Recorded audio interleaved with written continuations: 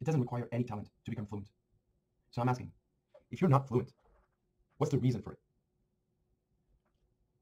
Are you okay? Is it because you're okay with it? Or is it because of the pain, the effort, the boringness of it, and another million other reasons that came in your way in your journey towards fluency? The basic idea that you are simply not able to sustain your motivation in your journey towards becoming fluent in French.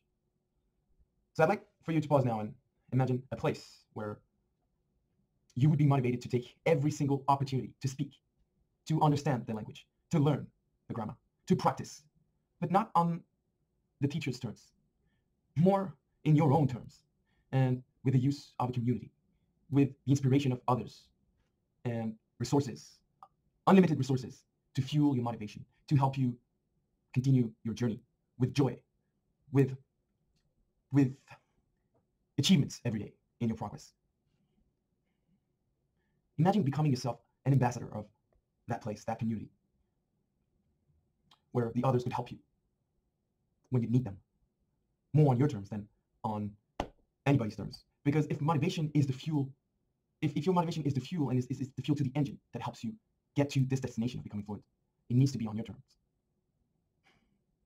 Imagine that environment that would make it almost effort, effortless to squeezing the French without noticing that you're making an effort because you would take pleasure from actually delivering the work.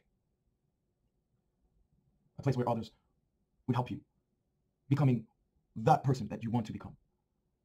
I think there's a formula in, in this journey that we can create together. And that's why I'd like you to consider the French Workshop. No matter your level in French, when you start, we'll use that initial motivation, that, that ignition, um, so that with others, you, you'll, you'll start having fun from day one. And without noticing it, you'll make progress. You'll come back because you'll want more. And you'll make it a journey greater than just the one of becoming fluent in French.